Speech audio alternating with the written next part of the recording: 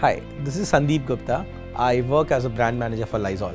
I joined in here as a summer intern. Uh, it was a fantastic time, fantastic learning, and great, great experience. You know, because uh, that's the first time when you actually enter into a corporate world and look at how the world is behaving, how people value your opinions, and since then it's a choice, right? In RB, they're very clear about you as an individual decide your own career. You are the one who takes the initiatives to figure it out what is it that you like to do and you're good at doing.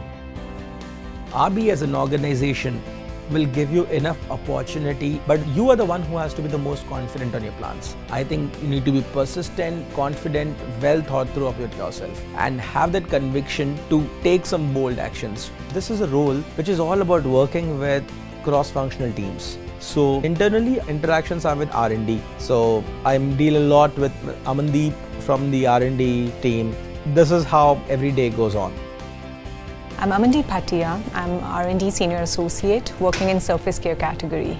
My job involves uh, developing new products and technologies uh, for surface care category based on relevant consumer insights. So today I came to work um, and you know I spoke to my team and then uh, I had a meeting with Sandeep, Lysol brand manager. Uh, we talked about how we can make Lysol stand out in the market how can we work on it? What are our different competitors? Where is it that we need to work on to become even better at germ killing?